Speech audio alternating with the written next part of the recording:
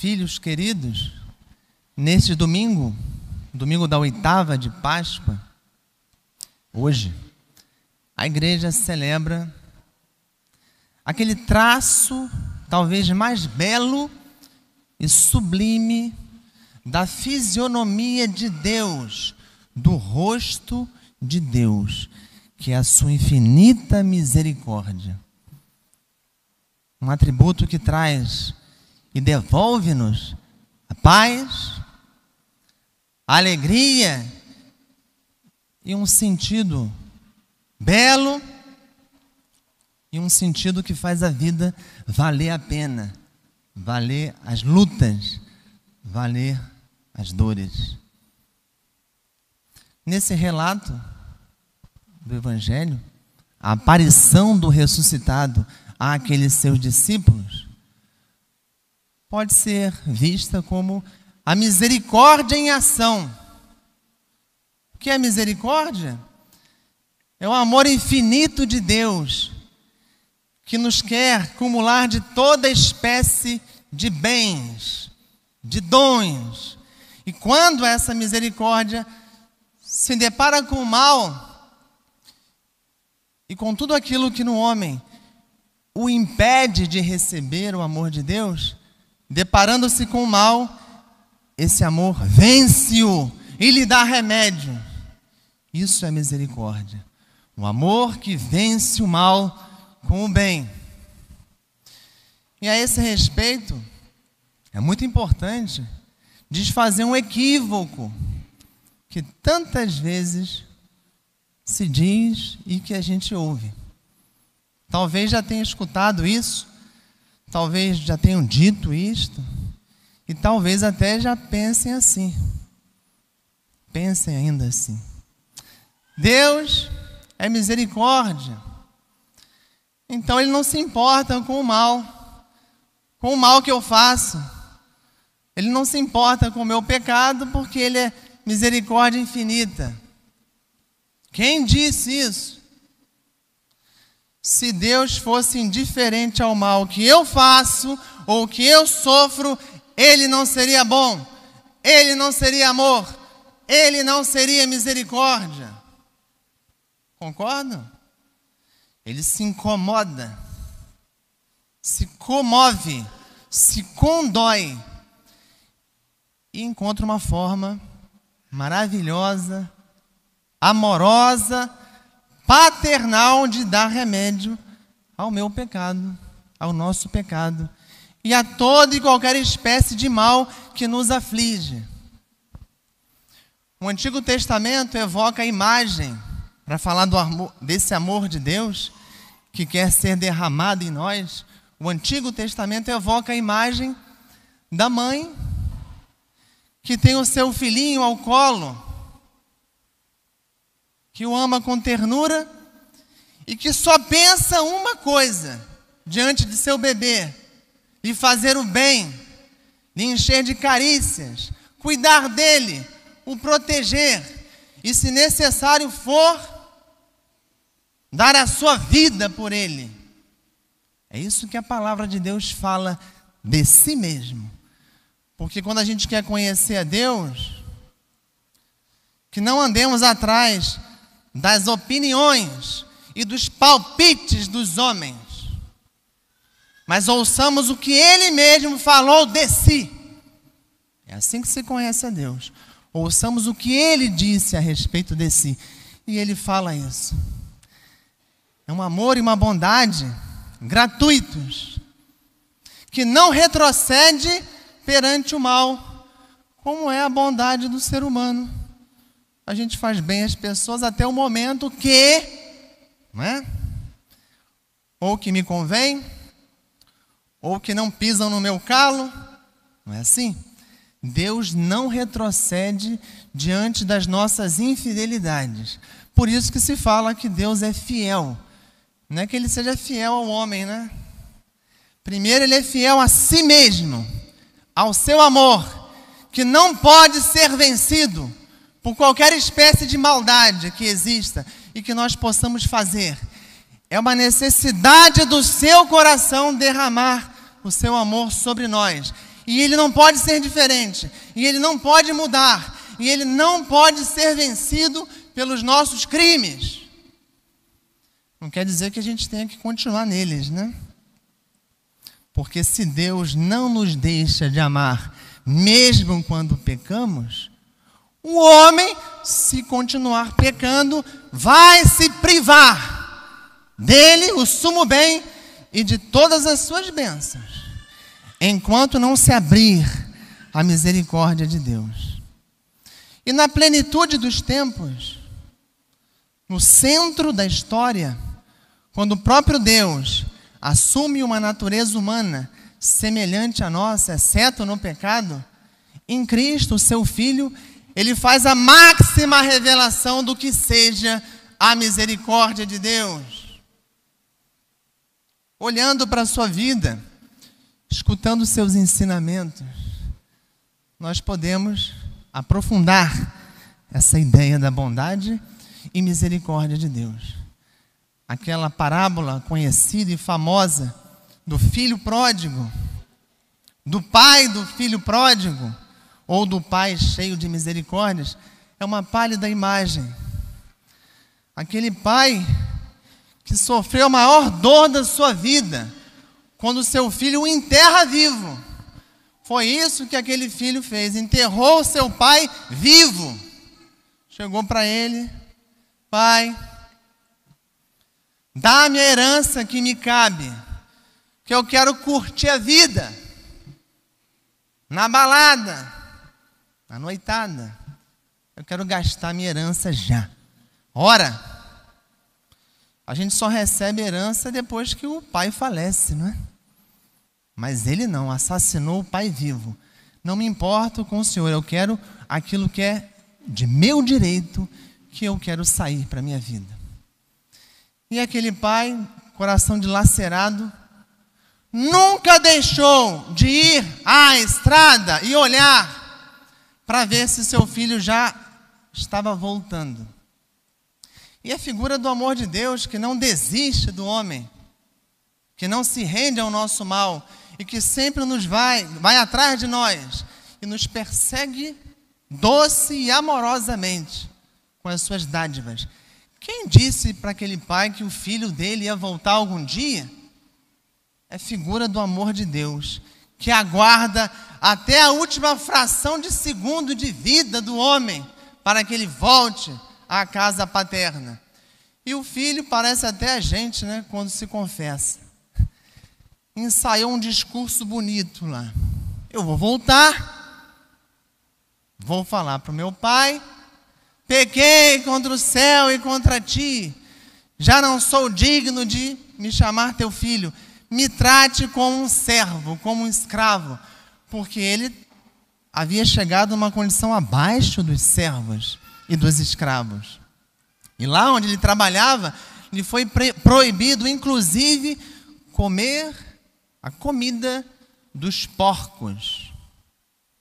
E ele disputava na sua fome a lavagem com aqueles suínos.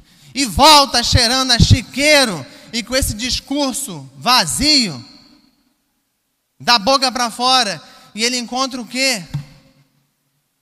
O pai dele, na estrada, esperando-o de braços abertos.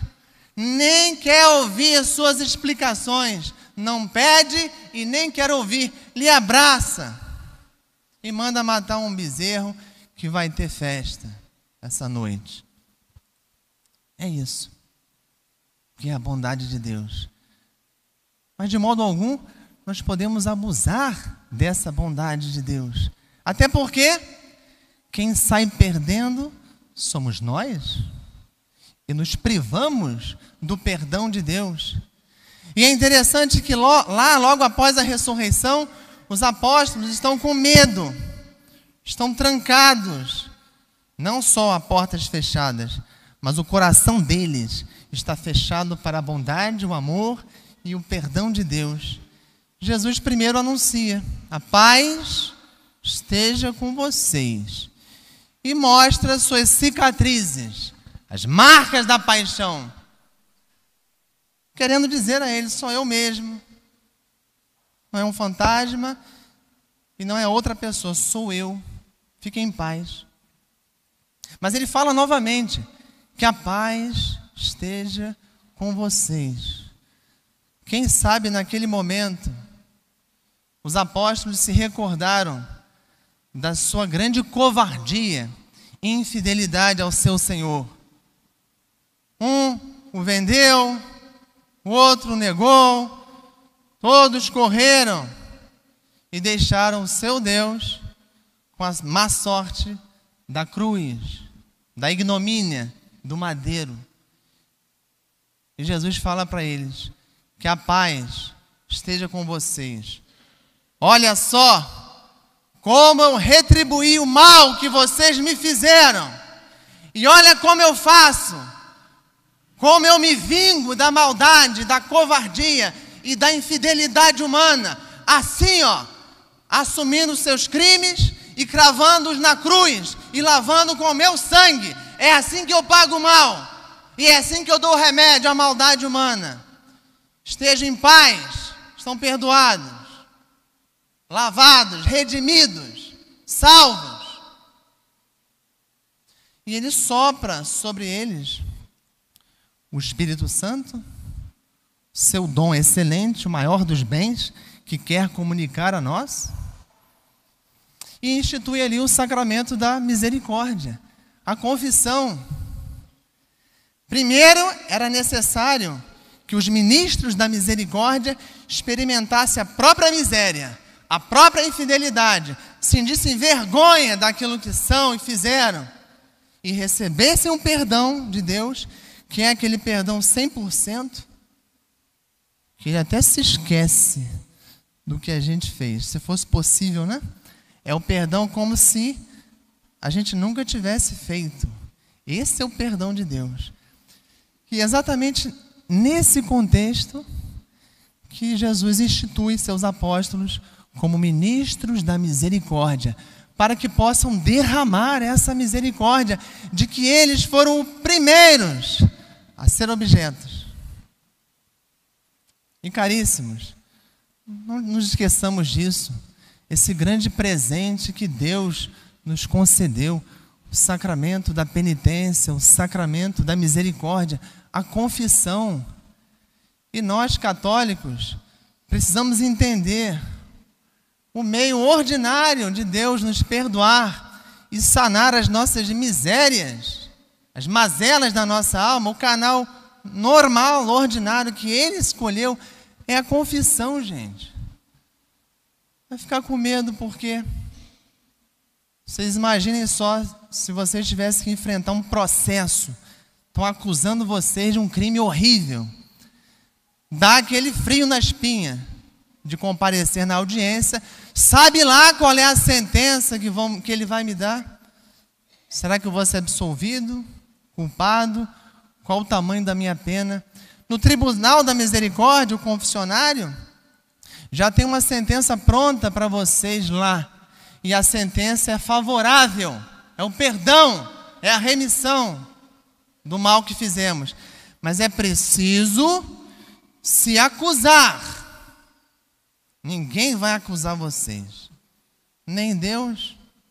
Ele só ilumina a nossa consciência. Quem tem que se acusar é cada um. Ninguém vai nos processar e acusar. Mas a sentença é certa. Se a acusação for sincera, se não for igual aquele discurso do filho pródigo, o perdão está lá, preparado para nós. Que nós possamos aprender isso. E quanto maior o crime que a gente cometeu, mais feliz o padre fica ali no confessionário, sabia? Que é isso, padre? É, a gente não fica feliz pelo crime que você cometeu, não, tá? Aí a gente já pensa logo nos políticos, né? A gente fica feliz por perdoar um crime imenso. É isso. A gente experimenta uma gota, uma pitada da alegria de Deus de oferecer o seu perdão. Não percamos essa grande chance e anunciemos ao mundo carecido de misericórdia onde está o remédio. Se a gente vive hoje um tempo caótico, uma sociedade dilacerada, fratricida, exatamente por falta de reconciliação e perdão, primeiro com Deus. E quando o homem recebe o perdão de Deus, ele é enobrecido, elevado, e ele aprende também a oferecer o perdão a quem lhe fez mal. E evitar, inclusive, ofender e causar né, é, mágoa e tristeza às pessoas. O segredo da pacificação desta sociedade enlouquecida, insana e bárbara está na reconciliação com Deus e depois sim na reconciliação com os irmãos.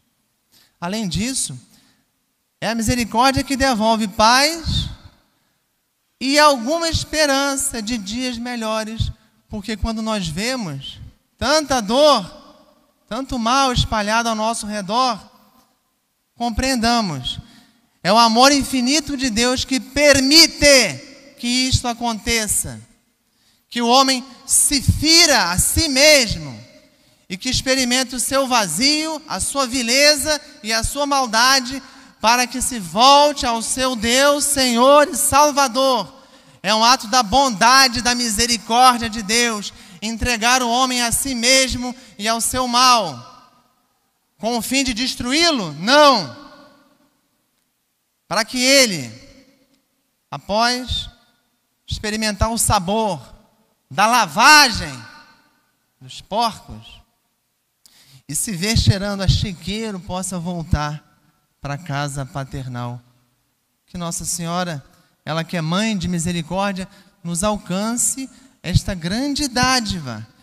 E se a gente ficar com medo ainda de Deus, e se a gente ainda não confiar o suficiente na misericórdia e bondade infinita dele, que quer se comunicar a nós, e se a gente ainda tem vergonha de mostrar as cicatrizes da nossa alma e suplicar o perdão, lembre do amor da mamãe, o amor terno, carinhoso, atencioso, invencível das mamães.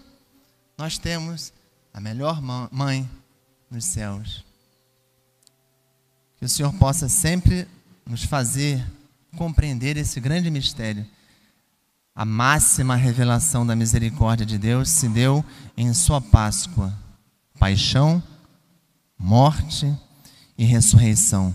Viu o que Ele fez com os nossos crimes?